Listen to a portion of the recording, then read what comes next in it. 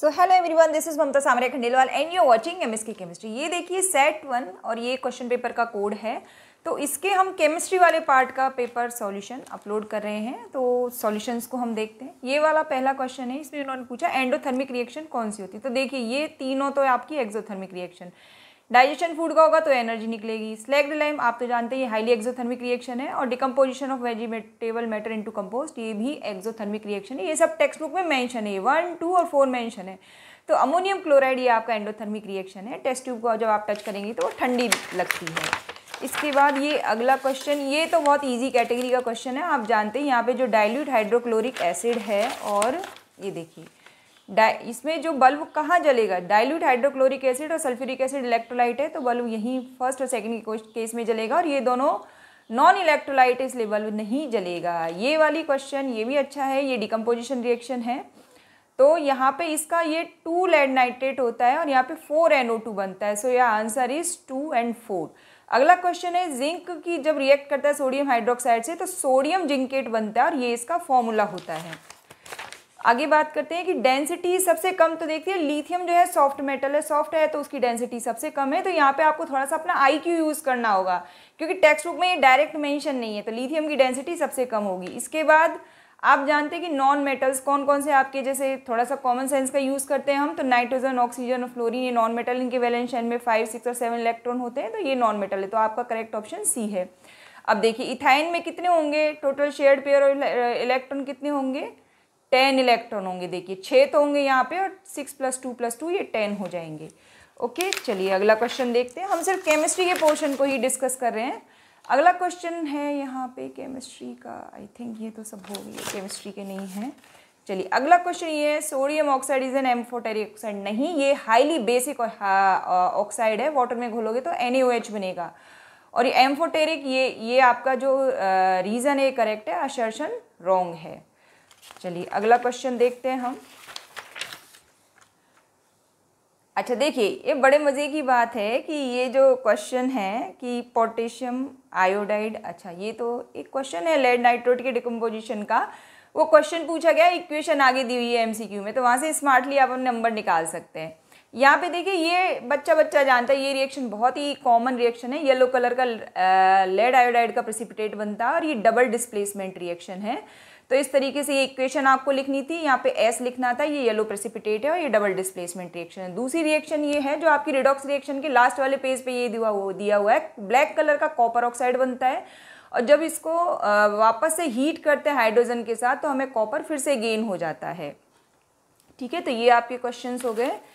अगला क्वेश्चन है आपका यस इधर, ये देखिए।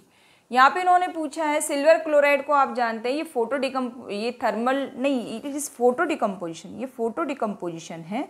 तो इसको जब हीट किया जाता है तो देखिए इसका डिकम्पोजिशन होता है और ये आपको सिल्वर मिलता है, इसलिए इसका कलर ग्रे होता है। चांदी, आप जानते हैं, चांदी की पायल का कलर कैसा होता है? ग्रे होता है और ये क्लोरीन यहाँ पे मिलता है, ठीक है?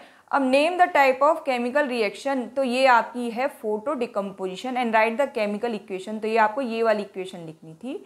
इसके बाद आपको लिखना था state the use of reaction तो ब्लैक एंड व्हाइट फोटोग्राफी में इसको यूज़ किया जाता है और सिल्वर ब्रोमाइड को भी इसकी जगह यूज़ किया जा सकता है। चलिए तो with the help of suitable chemical equation list ये सारे बाद के क्वेश्चन आपके कॉमन है सेट वन से तो इसलिए मैं इनको बता देती हूँ। क्वेश्चन नंबर ट्वेंटी एट तो ये रोस्टिंग और कैल्सिनेशन तो ये आपकी टेक्स्ट बुक में साफ़ साफ़ लिखा हुआ है। जिंक सल्फाइड रोस्टिंग मतलब ऑक्सीजन की प्रेजेंस में हीट करना है तो ये जिंक ऑक्साइड बनेगा। और जिंक कार्बोनेट को हीट करते किसमें आप in the absence of air और in the limited supply of oxygen तो ये जिंक ऑक्साइड बनता है। तो दोनों ही केस में आपको जिंक ऑक्साइड बना। फिर जब इसका कार्बन से रिडक्शन कराएँगे तो हमें जिंक मिल जाता है। तो ये हो गया आपका ये वाला क्वेश्चन ठीक है? तो ये इसके थ्री मार्क्स में आपको ये रिएक्शन और ये सब आपको लिख के आना था। चलिए, अगला क्वेश्चन है आपका यहाँ पे। ये एक्स एंड वाई ये आपको बताने हैं तो इसमें बता देते हैं, ये देखिए, ये भी सेम क्वेश्चन सेट वन का ही है। तो यहाँ पे आपको क्लू कहाँ से मिला है? सो ये सोडियम इथेनोइड से। ये आपका सोडियम इथेनोइड इथेनोइक एसिड का एच हटा के सोडियम लगाया तो ये सोडियम इथेनोइड बन गया।